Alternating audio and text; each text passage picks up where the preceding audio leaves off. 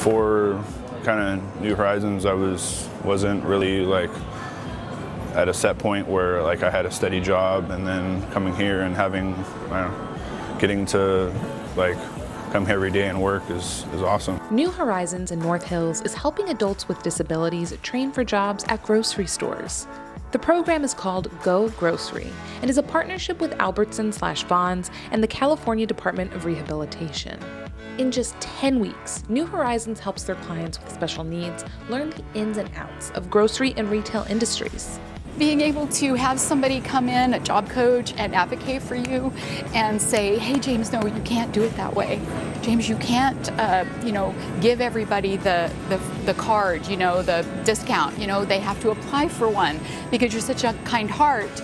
So learning how to be a good employee uh, just took a little time. The program starts with teaching their clients the basics of the industry, and then they practice at a mock grocery store, learning how to bag and ring up customers. Later, they visit grocery stores and volunteer to get a real experience at an Albertsons or Vons. By the last two weeks, they're ready to start applying for jobs, and the job coaches and staff help them with setting up an email and the rest of the application process.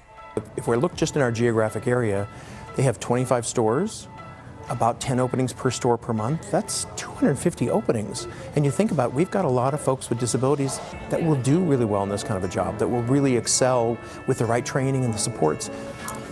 So clients from New Horizons start as a courtesy clerk here at Vons where they help bag items and different groceries and then they can work their way up as a cashier like James here.